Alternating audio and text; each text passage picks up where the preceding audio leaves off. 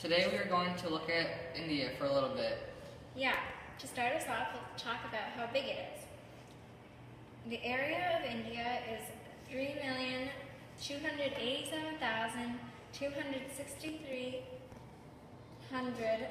square kilometers large, um, 3,214 kilometers long from north to south, and 2,993 kilometers wide from east to west.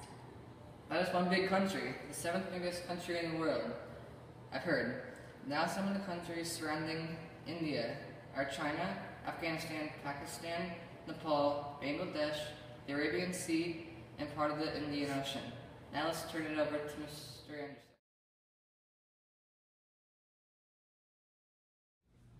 One thing that we have here is monsoons. This is a very heavy rainfall mixed with rapid wind that will create a flood in damaged states. Some of the major landmarks in India are the Brahmaputra Tapi, ancient Indian mountains, Sambar Ganga, a river in Bhagarati, and Godavari, Krishna, Yamuna, also a river in Jamuna. Now back to Mrs. Clark.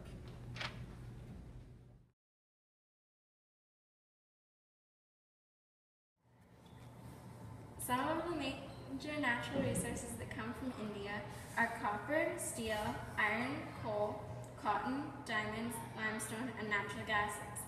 Now we have a special guest speaker from the show Man vs. India, Mr. Proto.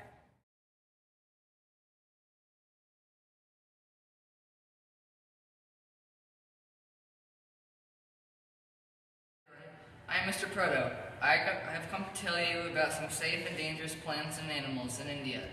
First, let's begin with the safe animals. There is nilgai, lion-tailed macaque, and elephant.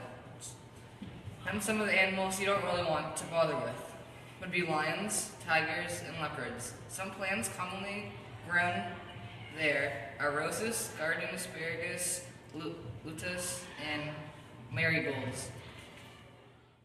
Something else you might like to know about India is that it has seven territories and 28 states. Here's a map showing the territories.